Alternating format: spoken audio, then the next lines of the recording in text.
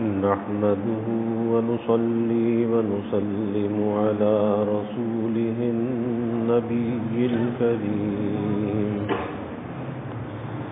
وعلى آله وأصحابه أجمعين. اللهم صل على سيدنا ومولانا محمد وعلى آله آل سيدنا ومولانا محمد وبارك وسلم صلاة وسلاما كثيرا كثيرا توفیق الہی.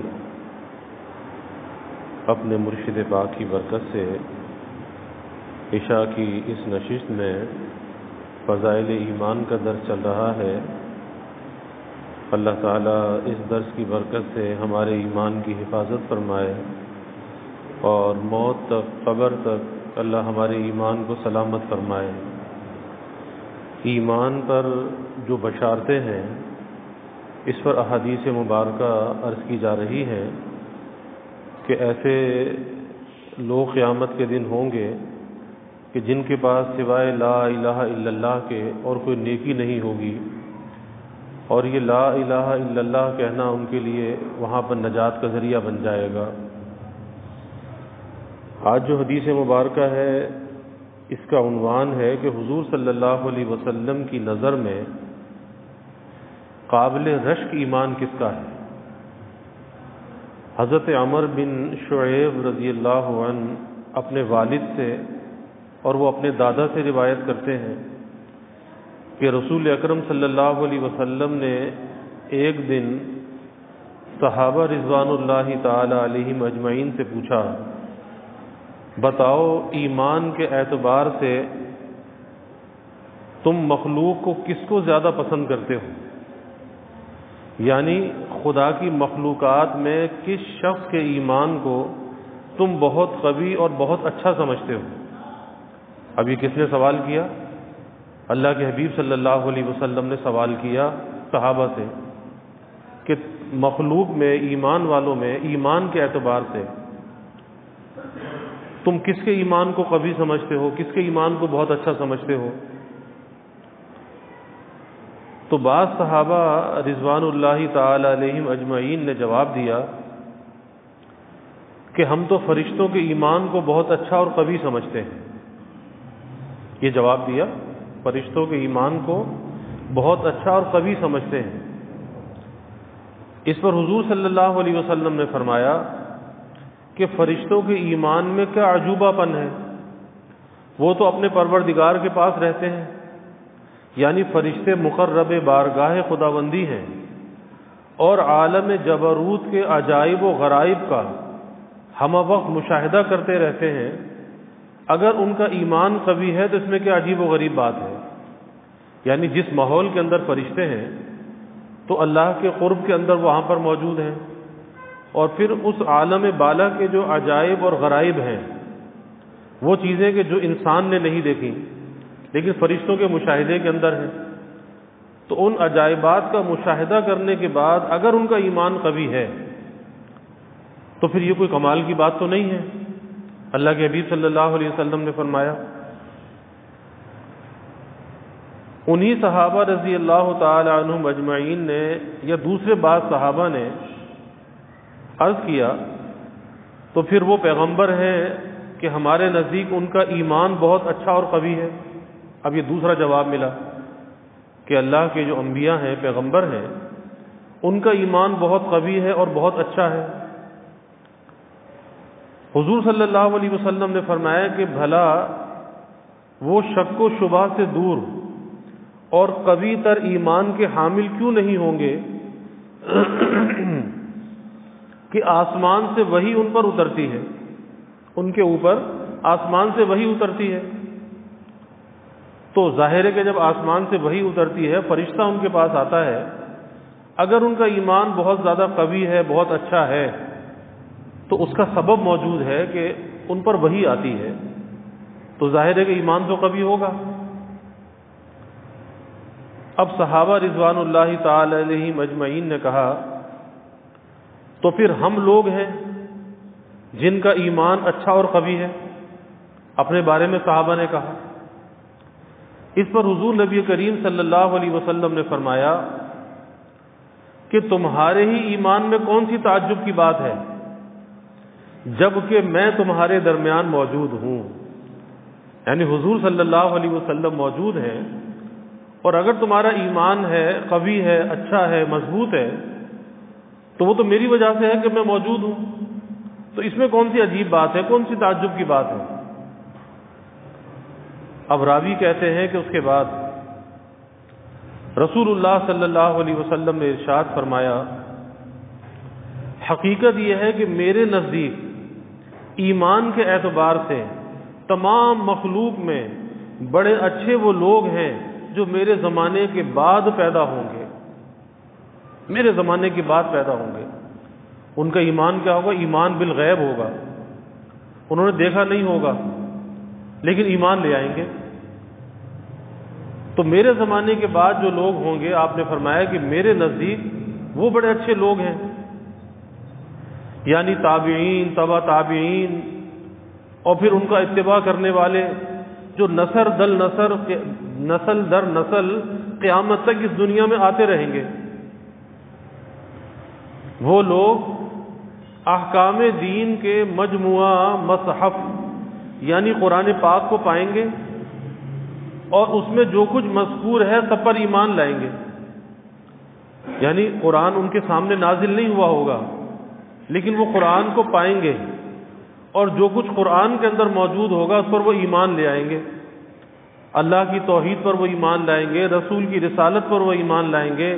قرآن پر ان کا ایمان ہوگا اور یہ سب ایمان بالغیب ہوگا، انہوں نے اپنی نظروں سے کچھ نہیں دیکھا ہوگا۔ تو آپ نے فرمایا کہ میرے نزدیک یہ لوگ زیادہ بہتر ہوں گے، زیادہ اچھے ہوں گے۔ اس لیے حدیث پاک میں آتا ہے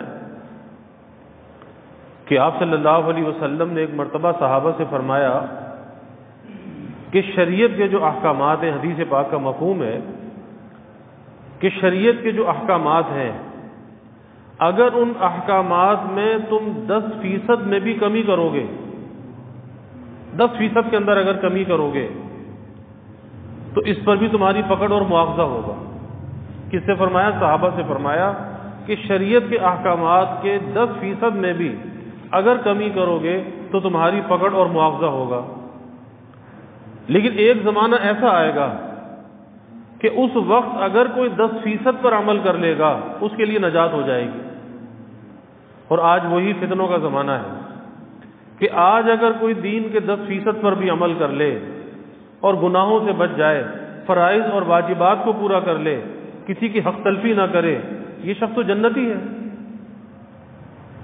اس لیے آج کے زمانے میں جہاں ایمان پر مشکلات زیادہ ہیں وہیں پر ایمان کے تقاضوں کو پورا کرنے پر اجر و ثواب بھی زیادہ ہے۔ جیسے حدیث میں آتا ہے نا کہ آپ صلی اللہ علیہ وسلم نے فرمایا کہ جو میرے بعد میری سنت کو زندہ کرے گا، اسے سو شہیدوں کا ثواب ملے گا۔ ظاہر ہے کہ صحابہ کے لیے یہ فضیلت نہیں تھی، لیکن اب یہ فضیلت موجود ہے۔ اسی طرح ایک حدیث میں آتا ہے کہ میرے بعد جب ایسا زمانہ آئے گا کہ دین پر عمل کرنا اتنا مشکل ہوگا کہ ہاتھ پر انگارہ رکھنا تو آسان ہوگا، لیکن دین پر عمل کرنا مشکل ہوگا۔ اس وقت جو آدمی دین پر عمل کرے گا، اسے پچاس آدمیوں کے برابر ثواب ملے گا۔ تو صحابہ نے سوال کیا کہ پچاس کون تھے؟ پچاس ہم میں کے یا ان میں کے؟ آپ نے فرمایا کہ پچاس تم میں کے۔ یعنی آج اگر کوئی دین پر عمل کرتا ہے، اسے صحابہ کے پچاس صحابہ کے برابر اسے آج اجر و ثواب ملتا ہے۔ تو آج ہمارے لیے اتنا بڑا فائدہ ہے کہ محنت کم ہے، لیکن ثواب ہمارے لیے زیادہ ہے۔ اس کے باوجود اگر آدمی دین پر عمل نہ کرے، پھر شامت اعمال ہے، اس سے ڈرنا چاہیے۔ حضرت ابو سعید خدی رضی اللہ تعالی کہتے ہیں کہ رسول اللہ صلی اللہ علیہ وسلم نے ارشاد فرمایا کہ جب اہل ایمان کو دو سے چھٹکارا ملے گا، تو ان کو جنت میں پہنچانے سے پہلے اس پل پر روک لیا جائے گا جو جنت اور دوزخ کے درمیان میں واقع ہوگا۔ ایک پل ہوگا جو جنت اور دوزخ کے درمیان ہوگا، اس پل پر روک لیا جائے گا۔ پھر ان سے ایک دوسرے کو ان کے حقوق و مطالبات کا بدلہ دلوایا جائے گا۔ یعنی یہ جو حقوق کا معاملہ ہے، یہ بڑا نازک ہے۔ ایک تو بندے کے ذمے وہ حق ہے کہ جو اللہ کے کسی حق میں اس نے کوتاہی کی۔ اللہ کا حق کیا ہے؟ نماز ہے، روزہ ہے، حج ہے، زکوٰۃ ہے، صدقات اور واجبات ہے۔ یہ اللہ کے حقوق ہے تو حدیث میں آتا ہے کہ قیامت کے دن اللہ کو اختیار ہوگا اپنے حق پر کہ اپنے حق میں اگر کوتاہی کسی نے کی ہوگی یعنی اللہ کے حق میں، تو یا تو اللہ اس کی سزا دے یا اپنے حق کو معاف کر دے، اللہ کو اختیار ہوگا۔ لیکن اگر بندوں کے حق کو ضائع کیا ہوگا، تو قیامت کے دن اس کا بدلہ ضرور دلوایا جائے گا۔ اور وہاں بدلے میں کیا چیز ہوگی؟ نیکیاں ہوں گی۔ کہ بدلے میں نیکیاں دے دی جائیں گی۔ حدیث میں آتا نا، آپ نے پوچھا کہ بھائی مفلس کسے کہتے ہیں؟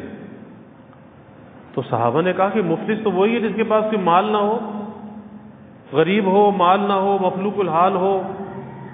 آپ نے فرمایا کہ نہیں۔ مفلس وہ شخص ہے کہ قیامت کے دن آئے گا، بہت سی نیکیوں کا ذخیرہ لے کر آئے گا۔ بہت سی نیکیاں اس کے پاس ہوں گی۔ لیکن دنیا میں لوگوں کے حق کو ضائع کر کے آئے گا۔ کسی کا قرض لیا تو واپس نہیں کیا، کسی کا کچھ کو چوری کر لیا، کسی پہ ظلم کر دیا، کسی کی کوئی غیبت کر دی، وغیرہ وغیرہ، بہت سے حق تلفیہ کر کے دنیا سے آئے گا۔ اور جب اللہ کے سامنے پیشی ہوگی، وہ اللہ کی عدالت ہوگی۔ وہاں پر اہل حقوق اپنے حق کا مطالبہ لے کر آ جائیں گے۔ وہاں تو ذرے ذرے کا حساب ہوگا نا۔ ہمیں یامل مسقال ذرتن خیر یارا ہمیں یامل مسقال ذرتن شر یارا کہ ذرہ برابر خیر کی ہوگی، اس کا بھی فائدہ ملے گا۔ اور ذرہ برابر برائی کی ہوگی، اس کا بھی نقصان پہنچے گا۔ تو اہل حقوق اپنے حق کا مطالبہ لے کر آئیں گے۔ اور وہ عدالت کسی ہوگی، اللہ کی عدالت ہوگی۔ وہاں ایسا نہیں ہوگا کہ کسی کو ڈرا دھمکا کر بھگا دے۔ یہاں تو یہ کرتے نا کہ کسی کا قرض لے لیا۔ اور وہ قرض مانگنے والا آ گیا تو اس کو دھمکا دیا کہ جاؤ، تھانہ کچہری کھلی ہے۔ جو کرنا ہے کر لو، ہم نہیں دیتے۔ لیکن اللہ کی عدالت ایسی ہوگی کہ وہاں انصاف ہوگا۔ کسی سے زیادتی نہیں ہوگی، کسی پہ ظلم نہیں ہوگا۔ اب اللہ تعالیٰ فیصلہ فرمائیں گے کہ کیونکہ پیسے تو پاس ہوں گے نہیں، نہ زمین ہوگی، نہ پیسہ ہوگا، نہ کوئی اور چیز ہوگی۔ اب اس اس دن سرمایہ کیا ہوگا؟ سرمایہ نیکیاں ہوں گی۔ اب وہ سرمایہ بانٹ دیا جائے گا۔ کہا جائے گا کہ جو حق تلفی کر کر آیا ہے، مثلا دنیا میں پانچ پیسے اگر کسی کے قرض کے تھے، پانچ پیسے، اور وہ ادا نہیں کیے، تو سات سو نمازیں اس کے بدلے میں دینی پڑیں گی۔ پانچ پیسے کے بدلے سات سو نمازیں دینی پڑیں گی۔ کس کے پاس اتنی نیکی کا ذخیرہ ہے کہ وہاں پر اس طرح سے بڑھ جائے؟ تو حکم ہوگا کہ اس کی اس کی جو نیکیاں ہیں ان اہل حقوق کو دے دی جائے۔ آپ نے فرمایا کہ اس کی نیکیاں بڑھ جائیں گی، نیکیاں ختم ہو جائیں گی، لیکن اہل حقوق اب بھی باقی ہوں گے۔ فرشتے پوچھیں گے، یا اللہ کیا کریں؟ اس کی تو نیکیاں ختم ہو گئی۔ اب کیا کریں؟ تو اللہ تعالیٰ فرمائیں گے کہ ان کے جو گناہ ہیں، وہ اس کے سر پہ ڈال دو، اس کے اوپر ڈال دو۔ تو آپ نے فرمایا کہ یہ میری امت کا مفلس شخص ہے کہ جو میدان حشر میں آیا تھا نیکیاں لے کر، ذخیرہ لے کر نیکیوں کا۔ لیکن اب اس حالت میں کھڑا ہے کہ دوسروں کے گناہوں کا بوجھ اس کے سر کے اوپر ہے۔ یہ مفلس شخص ہے۔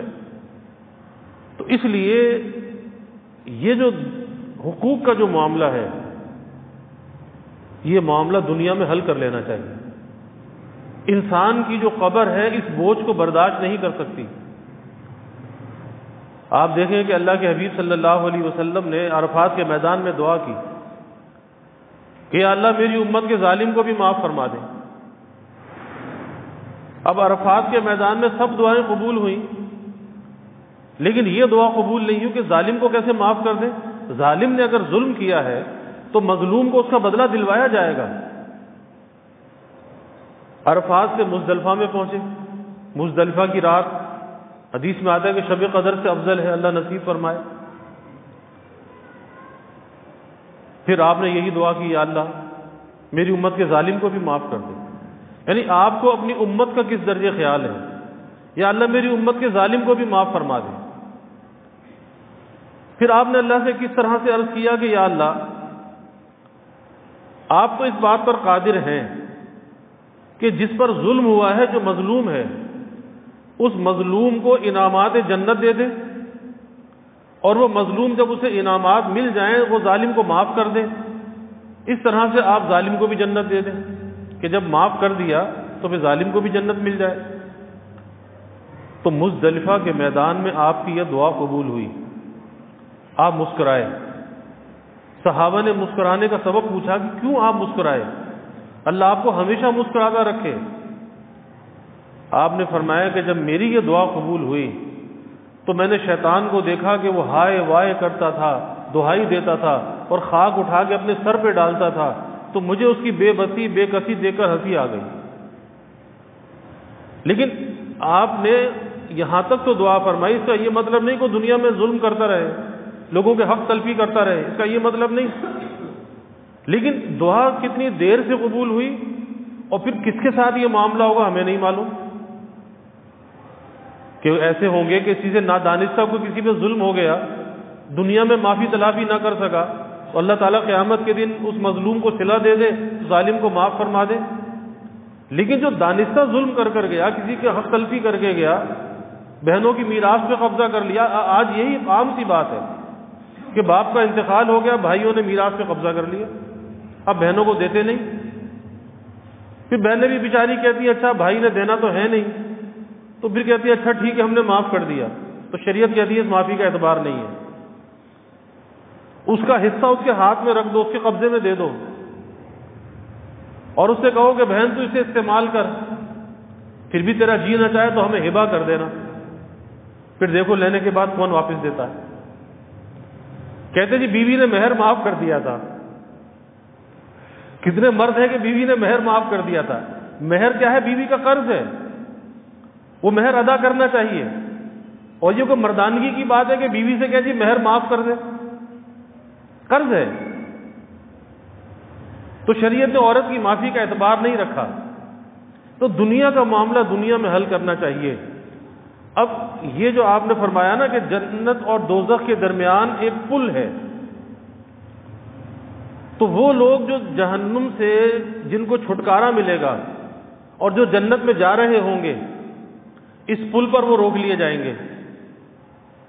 اور اب ان سے کہا جائے گا کہ بھائی، تمہارا جو مطالبہ تھا نا ایک دوسرے کے ساتھ، اب اس کا کچھ معافی تلافی کر لو۔ تو اس کا بدلہ دلوایا جائے گا جو دنیا میں ایک دوسرے پر رکھتے تھے۔ یہاں تک کہ وہ لوگ ہر طرح کے گناہ اور برائیوں سے، آلائش سے پاک و صاف ہو جائیں گے۔ یعنی بغیر معاملات کی صفائی کے۔ جنت میں نہیں جائے گا، جنت سے پہلے روک لیا جائے گا۔ اور یہاں کھڑے ہو جاؤ، پہلے آپس کے معاملات صاف کرو، ایک دوسرے کو معاف کرو، جو کچھ بھی کرو، اس کے بعد جنت میں داخلہ ہوگا۔ تو جب اس آلائش سے بالکل پاک و صاف ہو جائیں گے، گناہ سے، برائیوں سے اور اس دین کے بوجھ سے، تو ان کو جنت میں داخل ہونے کی اجازت دی جائے گی۔ یعنی جنت میں داخلے سے روک دیا جائے گا۔ اللہ کے حبیب صلی اللہ علیہ وسلم نے فرمایا، پس قسم ہے اس ذات کی جس کے قبضے میں محمد صلی اللہ علیہ وسلم کی جان ہے۔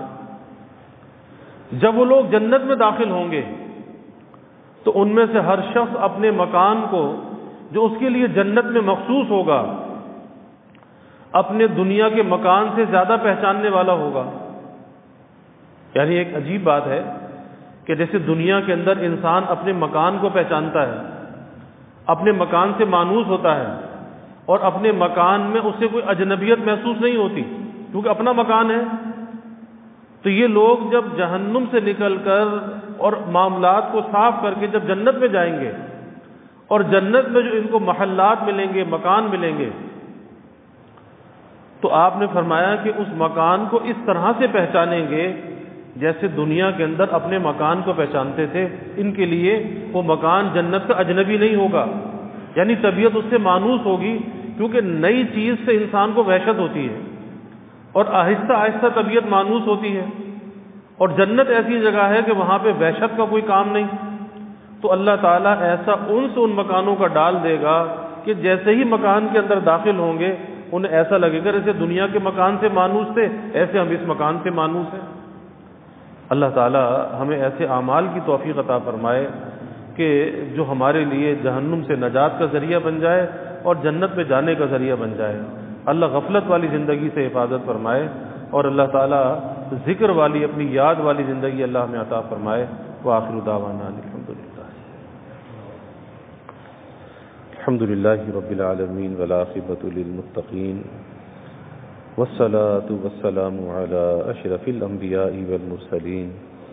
اللهم صل على سيدنا ومولانا محمد وعلى آل سيدنا ومولانا محمد وبارك وسلم.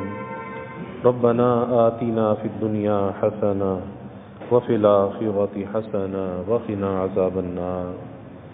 ربنا أتمم لنا نورنا واغفر لنا إنك على كل شيء قدير. اللهم أعنا على ذكرك وشكرك وحسن عبادتك. اللهم وفقنا لما تحب وترضى.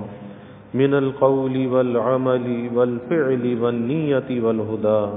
إنك على كل شيء قدير. اللهم ارزقنا حبك وحب حبيبك صلى الله عليه وسلم. اللهم ارزقنا شهادة في سبيلك واجعل موتنا ببلد رسولك. يا الله، يا رحمن، يا رحيم، يا كريم، يا رحم الراحمين، يا اکرم الاکرمین یا اللہ ہمارے گناہوں کو معاف فرما. یا اللہ ہماری خطایا سے درگزر فرما. یا اللہ اپنی محبت، معرفت عطا فرما. یا اللہ ذکر و فکر والی حیات طیبہ ہمیں نصیب فرما. یا اللہ ادائے حقوق کی ہمیں توفیق عطا فرما۔ حفظ حدود کی یا اللہ توفیق عطا فرما۔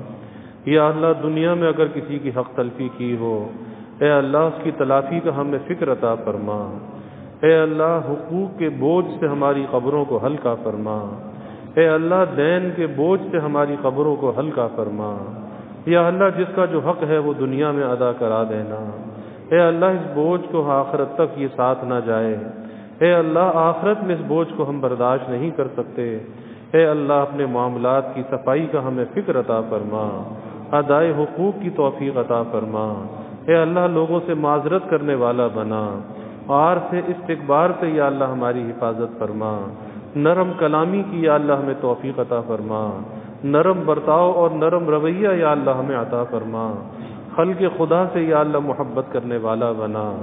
یا اللہ یہ بارش اور سیلاب کے جو متاثرین ہیں، اے اللہ تو ان کی دستگیری فرما، اے اللہ تو ان کی حفاظت فرما، ان کی کفالت فرما، ان کی ضروریات کو یا اللہ غیب پورا فرما۔ یا اللہ جو سیلابی ریلے گزر رہے ہیں، آبادیوں کی، بستیوں کی، یا اللہ تو حفاظت فرما۔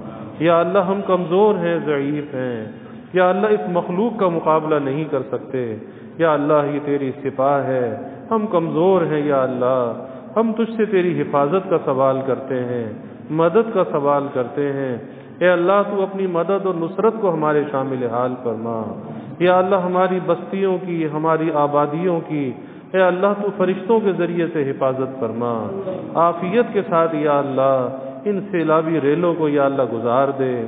ہر قسم کے نقصانات سے یا اللہ بچا لے۔ سب کے جان و مال کی، آل اولاد کی یا اللہ گھر بار کی حفاظت فرما۔ اے اللہ، پل پل کی حفاظت فرما، ہر جانب سے خیر کو نازل فرما۔ یا اللہ، دائیں سے، بائیں سے، آگے سے، پیچھے سے، اوپر سے، نیچے سے، ہر ہر جانب سے یا اللہ حفاظت فرما۔